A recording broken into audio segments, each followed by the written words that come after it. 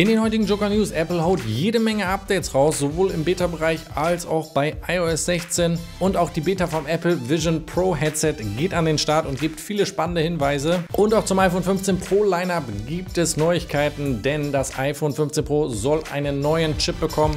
Das und ein bisschen mehr heute in den Joker News. Viel Spaß! Was geht ab? Hier ist dein Joker rund um Apple mit den Joker News. Endlich sind wir wieder da. Der Umzug ist vollzogen. Vielen, vielen Dank für das liebe Feedback auf die Roomtour auf unserem Zweitkanal. Jetzt sind wir hier im neuen YouTube-Studio. Ich hoffe, Bild, Ton und Licht ist in Ordnung. Wenn ihr Ideen für das Setup habt, schreibt sie gerne unten in die Kommentare. Und jetzt würde ich sagen, lass uns direkt loslegen. Das Wichtigste vorneweg, Apple hat drei Sicherheitsupdates rausgehauen. Einmal iOS 16.5.1, macOS 13.4.1 und WatchOS 9.5.2.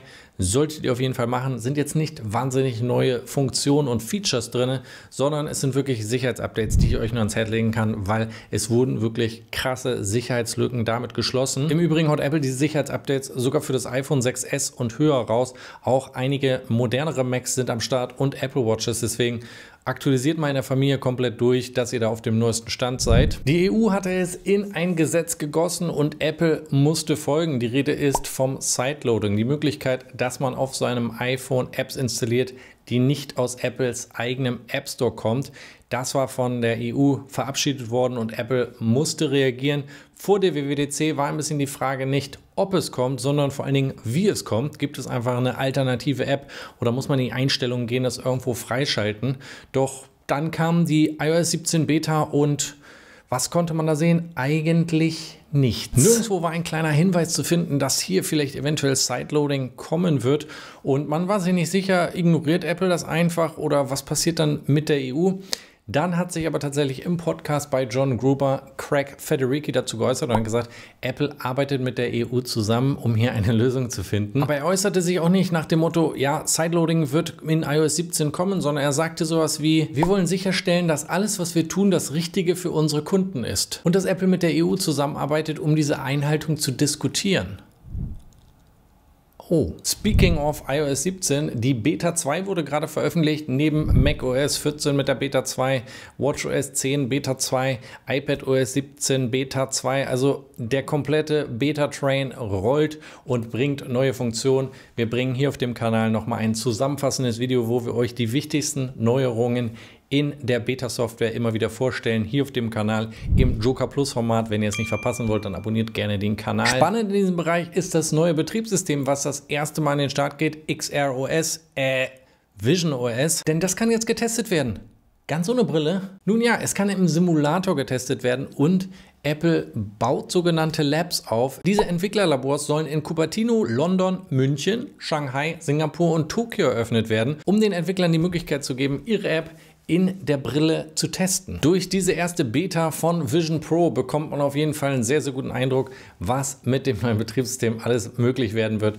Im Fitnessbereich, im Arbeitsbereich, aber auch im Entertainment-Bereich scheint da extrem viel möglich zu sein. Und bevor es dann im September soweit ist und wir jede Menge neue Software sehen werden in der offiziellen Version, gibt es natürlich auch noch Hardware. Wir sprechen hier natürlich vom iPhone 15 Pro bzw. iPhone 15 Pro Max und dem kompletten iPhone-Lineup, was im September dann an den Start geht. Denn hier gibt es auch Neuigkeiten, die ich auf jeden Fall mit euch besprechen möchte. Denn unser Freund Ming-Chi Ku hat sich dazu geäußert und hat gesagt, Apple wird hardwaretechnisch bei den iPhone 15 Pro Modellen extrem aufrüsten. Und zwar was den UWB-Chip angeht, das Ultra Wideband. Für alle, die damit nichts anfangen können, der UWB-Chip ist im Prinzip dafür zuständig, klarere Standortangaben machen zu können, zum Beispiel auch bei AirDrop, wenn Daten übertragen werden. Der HomePod hat es verbaut, bei den AirPods ist es verbaut, genauer gesagt bei der zweiten Generation der AirPods Pro. Und dieser Chip soll im iPhone 15 Pro bzw. Pro Max aktualisiert werden auf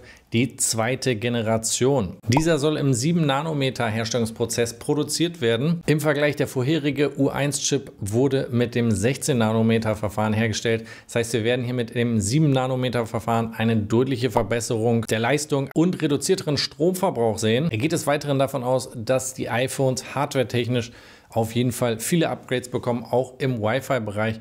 Das übernächste iPhone soll dann sogar schon Wi-Fi 7 bekommen, was die Möglichkeit bietet, im lokalen Netzwerk Daten bis zu 40 GB die Sekunde zu übertragen. Das aktuelle iPhone ist hier noch auf Wi-Fi 6 Geschwindigkeiten unterwegs. Ich bin mir ziemlich sicher, dass wir durch die kommenden Wochen und Monate mit der iOS 17 Beta noch viele neue Funktionen entdecken werden, die dann zusammen mit dem iPhone 15 Lineup an den Start gehen werden, auch mit den Gerüchten und hoffentlich vielleicht auch ein paar Leaks zu den neuen iPhones. Ich werde euch hier auf jeden Fall auf dem Laufenden halten, wenn es da etwas Neues gibt. Wenn ihr es nicht verpassen wollt, dann abonniert gerne den Kanal, denn dann werdet ihr immer informiert, wenn es etwas Neues rund um eure Apple-Produkte gibt. Ich werde mich jetzt hier mal einleben, werde neue Videos rausschallern, denn Glasfaser sollte in ein paar Tagen hier auch an dem Start sein.